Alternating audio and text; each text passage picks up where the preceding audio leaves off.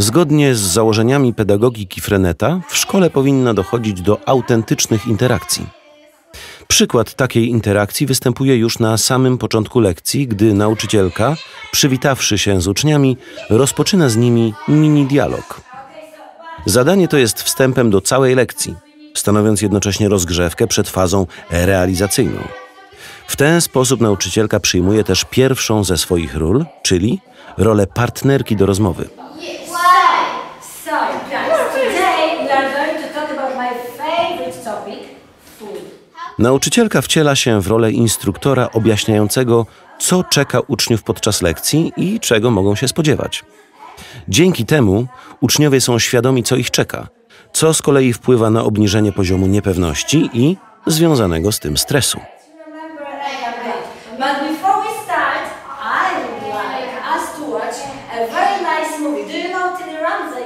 No. No, you don't. So you will meet her today. Today we are going to watch a movie How to Make Chocolate Mud Pies with Tilly Ramsey. Celem rozmowy wprowadzającej do oglądania filmu jest zaznajomienie uczniów z rodzajem słownictwa, które pojawia się w samym filmie. Dzięki temu uczniom łatwiej jest zrozumieć treść samego filmu. Oh, how could you, Philip? oh dear, okay, yes, it is. Nauczyciel powinien mieć też talent improwizatorski. Pewnym momencie nauczycielka wprowadza element humorystyczny, reagując na ucznia, który podał polskie tłumaczenie słowa mad. I mimo, że oczekiwała podania definicji angielskiej, zamiast go strofować, obraca całą sytuację w żart. Pies. Ultimate pies. Delicious. Get gardening Zamiast dawać uczniom zadanie sprawdzające zrozumienie słuchanego tekstu, nauczycielka decyduje się sprawdzić to, zadając uczniom pytania po obejrzeniu filmu. Kiedy jeden z uczniów popełnia błąd, używając rzeczownika cookie zamiast czasownika cook, nauczycielka momentalnie wciela się w rolę osoby delikatnie i z wyczuciem korygującej błąd. Sorry. I uh, can't. Uh, I can't cookie. You can't cook, but maybe you would like to eat. Yes, I Ah. Takie niebezpośrednie zwrócenie uwagi powoduje, że uczeń nie czuje się skarcony za popełnienie błędu i w dalszym ciągu jest chętny do kontynuowania wypowiedzi.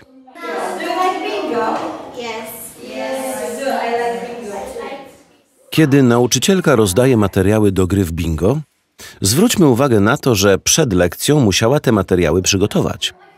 Podobnie jest z materiałami niezbędnymi do kolejnych zadań w modelu rotacji pomiędzy stacjami, czyli z chmurą wyrazową, ćwiczeniem gramatycznym oraz wężem ze słówkami. W ten sposób dochodzimy do kolejnej nauczycielskiej roli, czyli roli osoby odpowiedzialnej za dostarczenie uczniom technicznych możliwości realizacji zadań przewidzianych do wykonania na lekcji. Rola ta często wiąże się z czasochłonnym przygotowywaniem materiałów w domu. W posiadaniu jedno bingo. Okie So, ready, steady, go. Eggs. I have got eggs. Spinach. I have. Podczas gry w bingo nauczycielka wciela się w rolę animatorki zabawy, dbając o jej odpowiednie tempo, nie za szybkie, żeby uczniowie nadążali z zakrywaniem wyczytanych słów, ale i nie za wolne, żeby utrzymać wysoki poziom zaangażowania.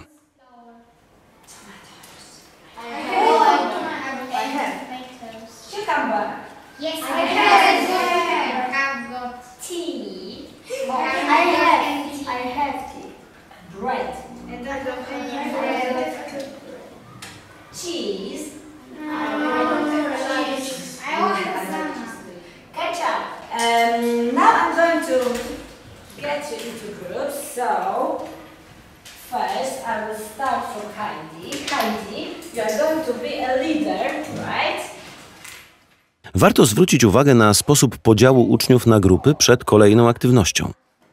Nauczycielka wykorzystuje do tego klamerki z kolorowymi kartkami, wyznaczając jednocześnie lidera lub liderkę każdej z grup.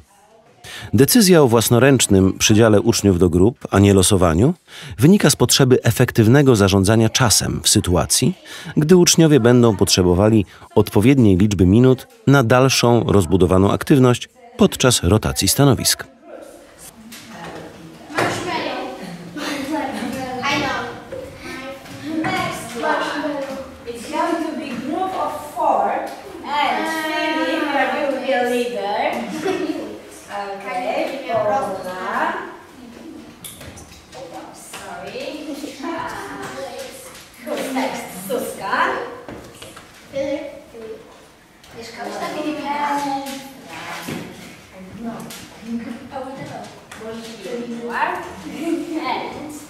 And last you. The leader. Who's the leader? Oh, Tipo, you are a leader. Hmm, maybe here, to your finger.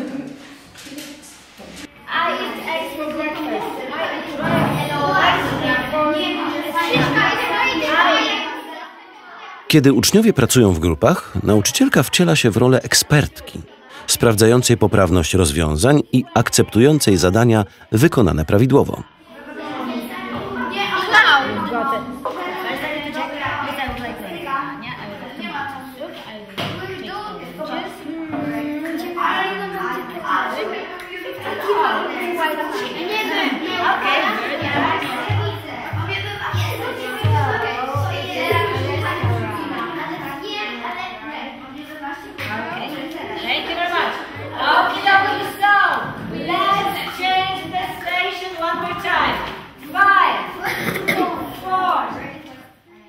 Podczas pracy w modelu rotacji pomiędzy stacjami nauczycielka zarządza czasem, dbając o odpowiednie tempo przechodzenia uczniów ze stacji na stację.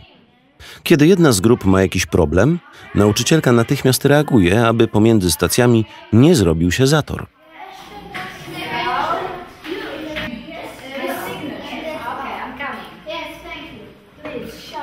Przez cały okres pracy uczniów w grupie nauczycielka zapewnia też odpowiedni nadzór nad uczniami i w razie potrzeby udziela pomocy.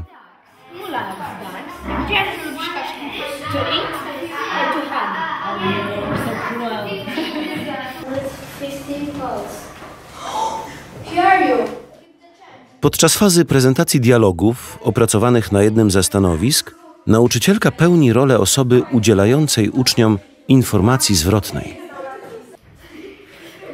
Warto zwrócić uwagę na to, od jakiej roli nauczycielka potrafi się też powstrzymać. W sytuacji, kiedy jedna z uczennic prosi ją o pomoc, ale kolega tej uczennicy oferuje swoje wsparcie, nauczycielka pozwala temu uczniowi przyjąć rolę osoby pomagającej uczniowi. Valeria, Powinno tak najbardziej podobało mi się dzisiaj. Ostatnia rola prowadzącej polega na umożliwieniu uczniom refleksji nad tym, co wydarzyło się podczas kończącej się lekcji. W tym celu nauczycielka zadaje pytania w języku polskim, prosząc uczniów o dokończenie zdań. Najbardziej podobało mi się, najtrudniejsze było oraz dzisiaj nauczyłam się,